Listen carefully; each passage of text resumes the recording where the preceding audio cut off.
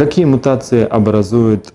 Кстати говоря, давайте вот, когда вы про генные мутации всегда говорите, они, конечно, чаще возникают, то есть я напишу так, больше, да, и еще они по, по э, э, этому, по Четверикову, как он их называл? Четвериков, генные мутации, такие мелкие мутации, да, что, кстати, в чем их там суть, э, что при них меняется? Ну, там нуклеотиды. Да, нуклеотиды всегда меняются при генных мутациях.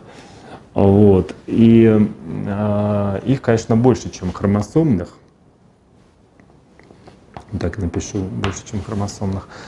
Но как Четвериков называл? Э, он эти все э, генные мутации мелкие называл одной, э, тремя словами. Он говорил, что популяция постоянно копит их, генные мутации. Это точно может быть ЕГЭ, потому что это вообще известный факт. Да это уже было в текстах.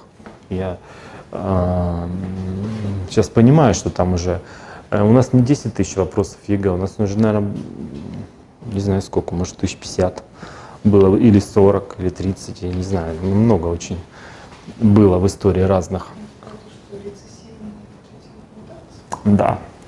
А, э, да, вот как раз вот генные мутации, ну, во-первых, в основном они для популяции, они именно рецессивные, да, может так вот R написать, рецессивные. А второе, что он сказал, он называется резервом наследственной изменчивости. Я вот так это сокращу.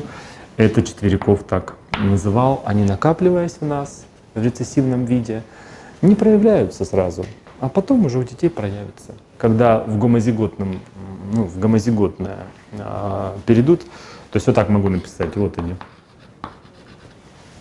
Накопились рецессивные, а потом передаются.